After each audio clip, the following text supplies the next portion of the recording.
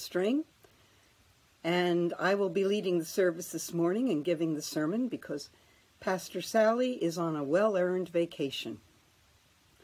I have been giving sermons for 25 or 30 years, but this is the first time I've done it with a video, so it's going to be very interesting. Nonetheless, we are here to praise the Lord, and we can do that even with a novice video person. We are planning, we are hoping, to have an in person service on November 8th.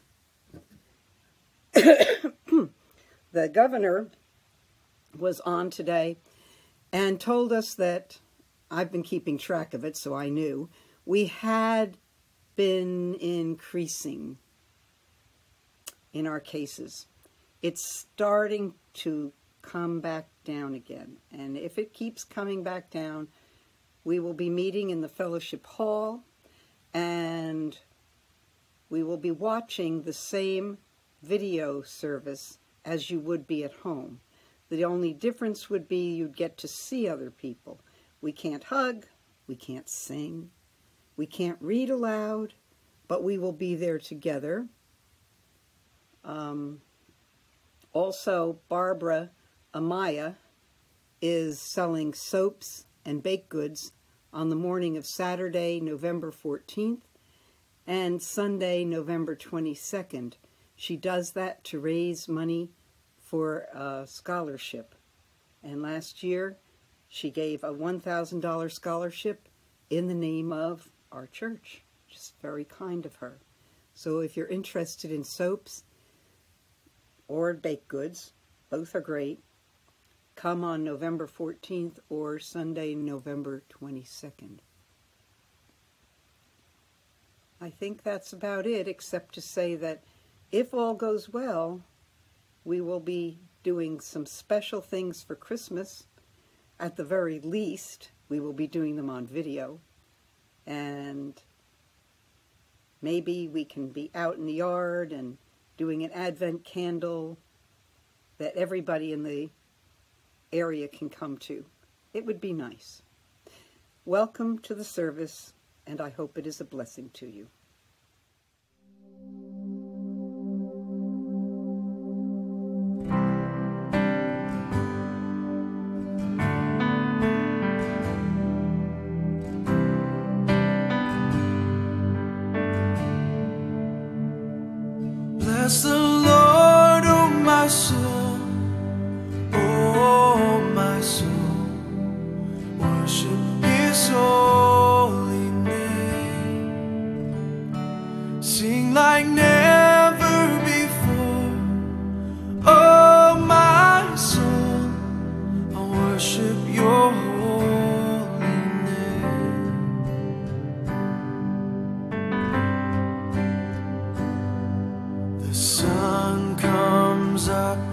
It's a new day dawning.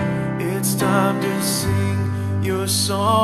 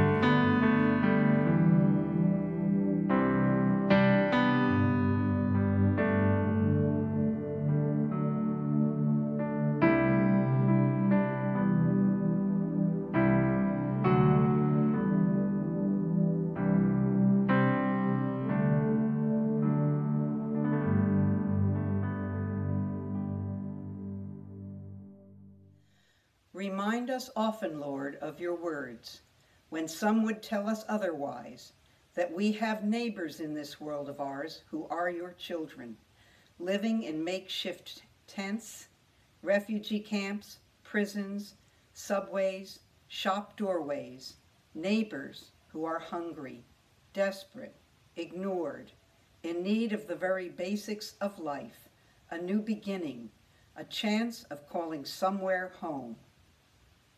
May your light shine brightly over this country in this election time and time of corona and time of racism, and in its warm glow, dark clouds of anxiety and division be scattered, shadows of deceit exposed, and in your brightness may grace and peace, like a gentle breeze, refresh our weary hearts. Help us to help those who are struggling through this day. Neighbor, relative, stranger, or friend, where we see a need, rather than walk away, may we stop a while and share a hand, a listening ear, a smile, a prayer, compassion, love, just as you would do. Amen. Today's scripture is from the fourth chapter of the book of John. And at this time, Jesus decided to leave Judea and go up to Galilee, so he had to go through Samaria. He came to a town in Samaria called Sychar, near the plot of the ground that Jacob had given to his son Joseph. Jacob's well was there, and Jesus, tired as he was from the journey, sat down by the well. It was about noon.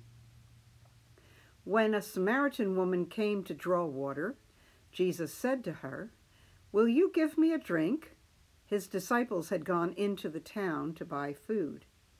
The Samaritan woman said to him, You are a Jew, and I am a Samaritan woman. How can you ask me for a drink? For Jews do not associate with Samaritans. Jesus answered her, If you knew the gift of God and who it is that asks you for a drink, you would have asked him, and he would have given you living water. Sir, the woman said, you have nothing to draw with, and the well is deep. Where can you get this living water? Are you greater than our father Jacob, who gave us the well, and drank from it himself, as did also his sons and his livestock? Jesus answered, Everyone who drinks this water will be thirsty again. but whoever drinks the water I give them will never thirst. Indeed, the water I give them will become in them a spring of water welling up to eternal life. The woman said to him, Sir, give me this water so that I won't get thirsty and have to keep coming here to draw water. He told her, Go, call your husband and come back. I have no husband, she replied. Jesus said to her, You are right when you say you have no husband. The fact is, you have had five husbands, and the man you now have is not your husband. What you have just said is quite true. Sir, the woman said, I can see that you are a prophet. Our ancestors worshipped on this mountain, but you Jews claim that the place we must worship is in Jerusalem. Woman, Jesus replied, believe me, a time is coming when you will worship the Father neither on this mountain nor in Jerusalem. You Samaritans worship what you do not know. We worship what we do know, for salvation is from the Jews. Yet a time is coming and has now come when the true worshippers will worship the Father in the Spirit and in truth, for they are the kind of worshippers the Father seeks. God is spirit, and his worshippers must worship in the spirit and in truth. The woman said, I know that the Messiah, called Christ, is coming. When he comes, he will explain everything to us. Then Jesus declared, I am the one speaking to you. I am he. Just then, his disciples returned and were surprised to find him talking with a woman. But no one asked, What do you want? or Why are you talking with her? Then, leaving her water jar, the woman went back to the town and said to the people, Come, see a man who told me everything I ever did. Could this be the Messiah? They came out of the town and made their way toward him. Many of the Samaritans from that town believed in him because of the woman's testimony. He told me everything I ever did.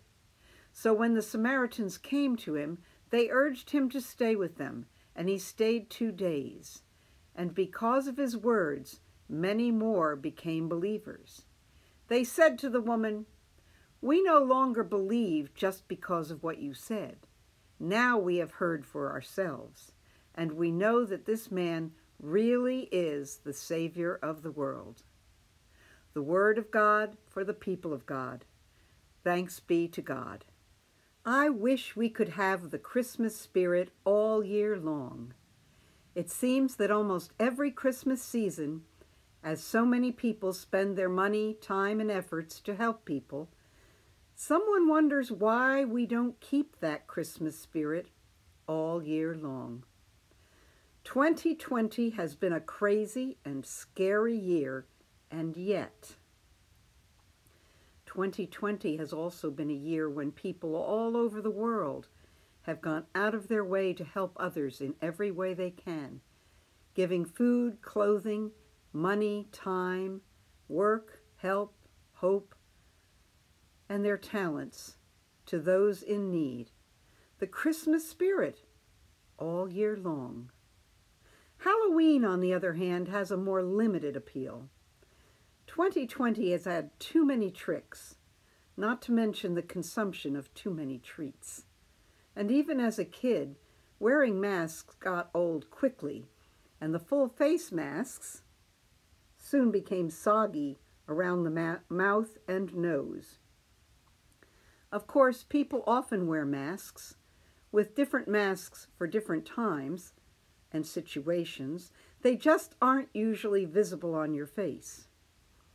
Knowing that first impressions are important, we dress differently, talk differently, act differently for a job interview, for the first day in a new school or a new job, a first date with a special person, the first day that you try to do a sermon on a video. I'm looking for my Pastor Sally mask. In our need to belong, we may appear to agree with things said by others, even though we really think that what they're saying is wrong, perhaps even harmful to others.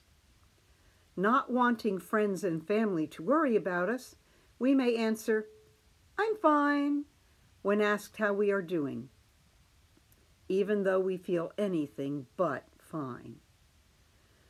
So are masks good or are they bad? As with so many things in life, the answer is both. When in pain, whether it is physical pain or emotional pain, covering up the pain with a smile without seeking help as, as well is unhelpful. Sometimes even dangerous.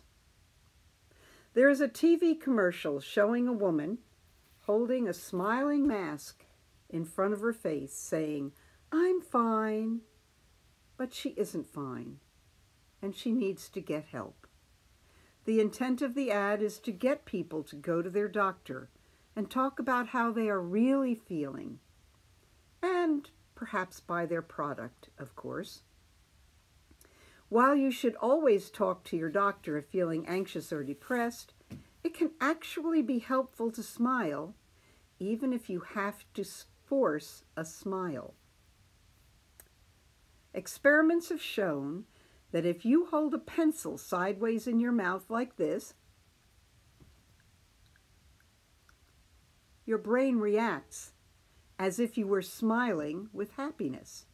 So the brain releases tiny molecules called neuropeptides, which help fight off stress.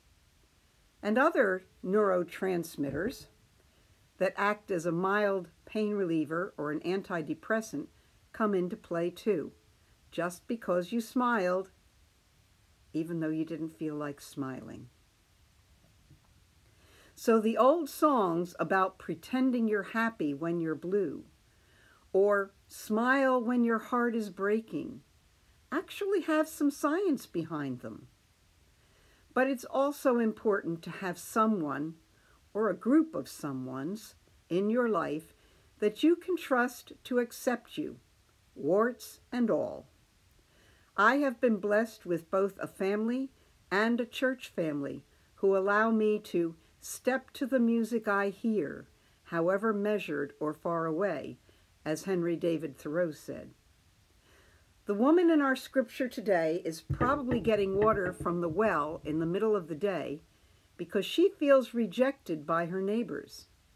Otherwise, she would walk with the other women in the relative cool of the morning to get her water. No mask can cover the fact that she has had five husbands and the man she is living with now is not her husband. In her defense, women of her time generally could hold no property or any independent job. They were dependent on men to take care of them a father, a brother, a husband, a son, an uncle, a cousin, someone. In the absence of protective male relatives, they stayed alive any way they could. When Jesus asked her for a drink of water, she saw the mask of a stranger, a Jew, who should not have been talking to a strange woman, and certainly should not have asked a Samaritan for anything. Jews hated Samaritans who had split off to worship God on Mount Gerizim instead of in the Temple of Jerusalem. They venerated the Torah, the stories and laws of the first five books of the Jewish scriptures, but not the other books of their scriptures. Naturally enough, the Samaritans hated the Jews in return. She expected him to see her mask of a hated Samaritan, and a woman at that, and rejected both his request for water and his statement that he could give her living water instead. But when he looked past her mask, telling her he knew about her five husbands and that she and all true worshippers would worship God in the spirit and in truth, her life changed. Leaving her jar, she ran back to tell the people of the town. He told me everything I ever did. Could this be the Messiah? This was the first miracle in this story. Believing she was accepted by the Messiah, her first thought was to share him with the people in her town. The second miracle was that many of the Samaritans believed in him because of her testimony. They could see that she was a new woman, one who was acceptable to the Messiah and to them, regardless of her past, the masks that she wore. They asked him and his disciples, Jews though they were, to stay with them for two days, and many more became believers. We all wear masks. Some of them help us, some of them isolate us from others because we fear that if people knew who we really were, what we were really like, they would not want us around. The good news in this story is that there is no need to wear masks with God. In fact, there's no point to it. There is no need to worry that if God sees through our masks, he will no longer love us. People look on the outside of a person, but God sees clear through to the heart. He knows your thoughts, words, and actions. He knows the best of you, and He knows the worst of you, and He loves you always. The challenge of this story is for us to look at others as God looks at them, with love and mercy. We must look past the masks of gender, color, age, economic status, political or religious beliefs, telling them with our attitude, with our actions, with our words, that they are not only accepted and welcome. They are God's beloved children. Let us pray.